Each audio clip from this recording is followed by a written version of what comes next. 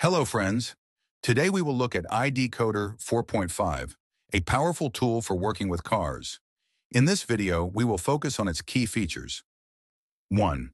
VIN PIN. iDecoder 4.5 makes it easy to extract VIN and PIN codes, making it easier to access important information about your vehicle and simplify diagnostics. 2. Remover DPF, removing the particle filter. DPF system is easy.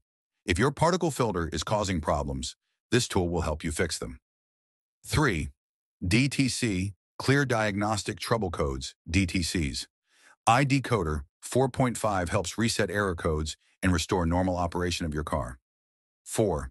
TVA, a program to disable the throttle valve control, TVA system, which can be useful for car tuning and tuning. 5. IMMO off. If you need to disable the immobilizer system, iDecoder 4.5 can handle that too.